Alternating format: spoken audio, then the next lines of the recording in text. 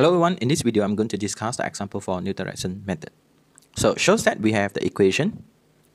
So we can say fx which is equals to negative 4x squared plus with the 5x plus with the 7 equals to 0 as the function fx. Has a root on the interval negative 2 and 0. So use the Newton-Raphson method to find the root of the equation correct to four decimal places. Next, find the f prime x where we have negative 8x plus with the 5. So continue, substitute bracket negative 2. So we have the situation negative 19. Substitute f, we have the x 0. So we have the 7. Opposite sign. So opposite sign shows that there is a root.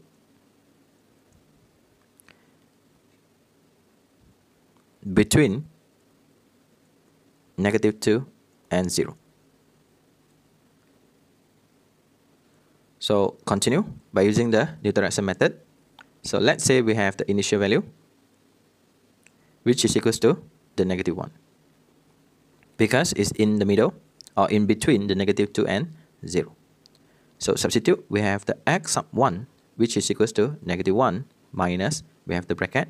So negative 4 bracket negative 1 squared plus with the 5 bracket negative 1 plus with the 7 over. We have the negative 8 bracket negative 1 plus with the 5. x sub 1, which is equals to, by referring to the calculator, negative 0 0.84615384. So next, we have the x sub 2. Kindly substitute the situation negative 0.846153 minus, we have the bracket, negative 4 bracket, negative 0.846153 squared plus with the 5 bracket, negative 0.846153 plus with the 7 over negative 8 bracket, negative 0.846153 plus with the 5. So x sub 2, where we have the situation, negative negative zero point eight three eight one zero nine six. x sub 3, negative 0.83808874. x sub 4, negative 0.83808874.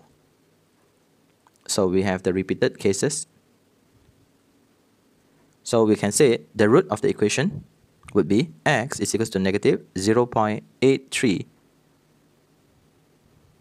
If you are new here, kindly consider subscribing to this channel and share this video to your friend.